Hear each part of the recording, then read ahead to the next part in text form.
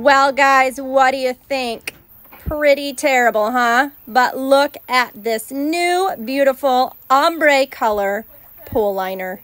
My husband had to spend 15 hours between a Saturday and a Sunday getting it all stretched out and perfect.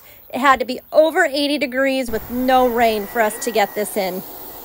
I love the color. Yeah, I do too. Like Wow. Coming along. Finally. We're going to be swimming tomorrow.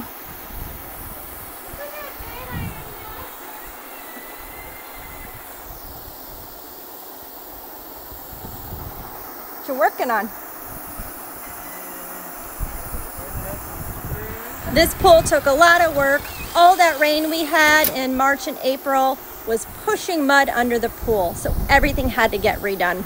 I wasn't able to film us taking off all the clips and the main frame of the pool because we just, it was a hot mess.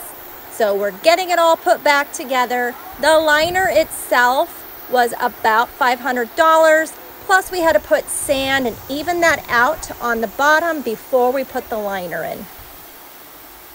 If we had to have hired someone to do this, it for sure would have been fifteen to two thousand dollars for the manual labor and all of the costs for them to come out to the house.